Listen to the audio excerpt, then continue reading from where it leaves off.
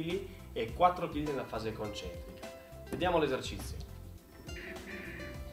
Abbiamo impostato un feedback in velocità a 0,5 metri al secondo nella fase eccentrica che ci permette di raggiungere e mantenere la perfetta velocità di rientro durante la fase di salita dell'avambraccio e del braccio.